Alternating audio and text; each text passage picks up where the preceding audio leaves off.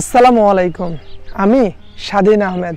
ইদানিং আমার ছোট ভাইটা এলাকার বাজে কিছু ছেলেদের সাথে আড্ডা দিতে শুরু করেছে। তখন আমি তাকে একটু বুঝালাম, দেখো, তুমি যাদের সাথে আড্ডা দিচ্ছ, তাদের ম্যাক্সিমাম ছেলেই কিন্তু নেশা জাতীয় দ্রব্যের প্রতি অ্যাডিক্টেড অনেকে সিগারেট খায়, বাজে জিনিসে যায়। সে খবরগুলো আমি পেয়েছি। তুমি তাদের থেকে একটু দূরে থাকার চেষ্টা করবে।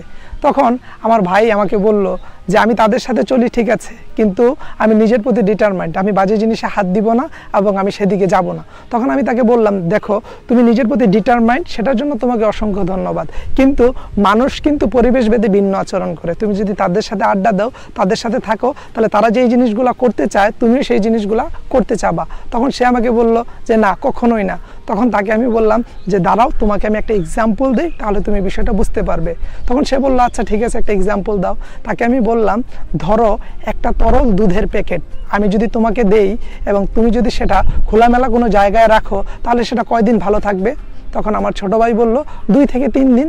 তখন আমি তাকে বললাম, সেই দুধের প্যাকেটটাই যদি আমি তোমাকে একটা ফ্রিজে রাখতে দেই, তাহলে বলো তো কয়দিন ভালো থাকবে? তখন আমার ছোট ভাই বলল যে, ভাইয়া, দুই থেকে তিন মাস। তখন আমি তাকে বললাম, এই জায়গায় একটু পজ করো দেন চিন্তা করো। এই দুধের প্যাকেটটা কিন্তু চাচ্ছে না নষ্ট হতে। কিন্তু পরিবেশ ভেদে তাকে দুইবার দুই জায়গায় দুই টাইমে নষ্ট হতে হচ্ছে। খোলামেলা জায়গায় সে নষ্ট হচ্ছে তাড়াতাড়ি, কিন্তু তাকে যদি একটু সংরক্ষণ করে রাখা হয় ভালো জায়গায়, তাহলে সে একটু বেশি লাস্টিং করছে। সেই জিনিসটাই আমি তোমাকে বোঝানোর চেষ্টা করছি। তুমি যদি বাজে ছেলেদের সাথে আড্ডা দাও, তাদের সাথে থাকো, তাহলে তাদের মেন্টালিটির সাথে তোমার মেন্টালিটিটা এক হয়ে যাবে। এটা আমি বলছি না, এটা নিয়ে একটা স্টাডি আছে, যাকে বলা হয় ল অফ অ্যাসোসিয়েশন তুমি যখন বড় হবে, এই বিষয়টা নিয়ে স্টাডি করবে, তখন এই বিষয়টা তুমি খুব সহজেই জানতে পারবে। এছাড়াও তুমি যদি ভালো ছেলেদের সাথে আড্ডা দাও, তাহলে তুমি ভালো জিনিস শিখতে পারবে। সো এই জিনিসটাই আমি আপনাদেরকেও বলার চেষ্টা করছি। যারা আমরা মানুষ বা ফ্রেন্ডদের সাথে আড্ডা দিই, তারা কতটুকু প্রোডাক্টিভ তারা কী নিয়ে আলোচনা করে? আইডিয়া থট এগুলো নিয়ে আলোচনা করে? নাকি ব্লেমিং করাপশন অন্য মানুষকে নিয়ে আলোচনা করে? এই জিনিসটা আপনি মাথায় রাখবেন, তাহলে দেখবেন আপনার নিজের অনেকটাই ডেভেলপমেন্ট হচ্ছে।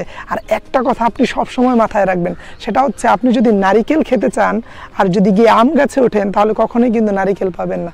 ধন্যবাদ সবাইকে। পরবর্তীতে নতুন আরেকটা ভিডিওতে আবার আপনাদের সাথে দেখা হবে। Till then stay happy stay cool